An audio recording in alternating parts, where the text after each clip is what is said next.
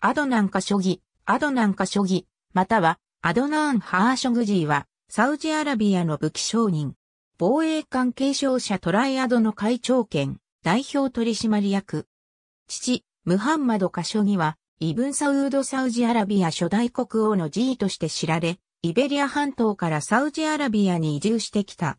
エジプトのビクトリア大学で学んだ後、サウジアラビアに戻って貿易会社を経営した。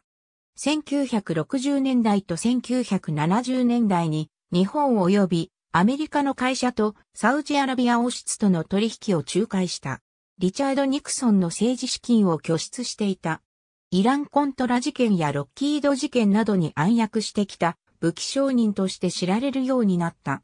カショギはクライスラーやレーセオン、フィアットやロールスロイスとも取引した。その後も中東の武器市場において様々な形で介在し、巨万の富を築いた。カショギは高級ホテルとして知られたウォルドルフ・アストリアを買収したこともあった。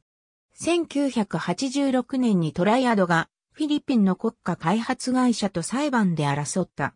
2年経ってカショギはスイスで資産隠しにより起訴され3ヶ月の禁錮を言い渡された。この密売事件について、1990年、アメリカ連邦裁判所は、カショギとイメルダ・マルコスを赦免した。2003年頃、モザック・フォンセカが本件を理由に、カショギとの取引を打ち切った。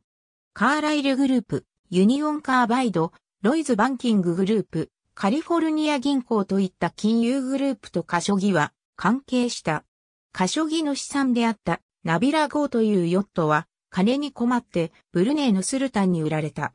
それはやがてホテル王ドナルド・トランプの手に渡り、そして彼も切羽詰まって、それをアルワリード・ビンタラールに売った。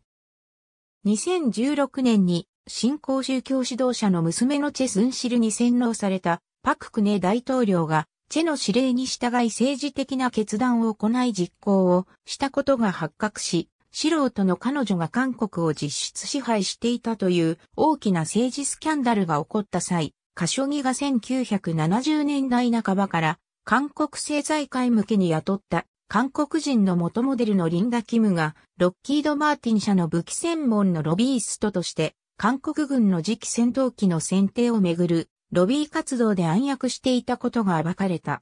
2017年6月6日に死去した。1997年にダイアナ妃と共にパリで自己死したドディ・アルファイドは老いにあたる。また、2018年にトルコのサウジアラビア総領事館内で殺害されたジャーナリストのジャーマル・カショギは、不敬の親族にあたる。ありがとうございます。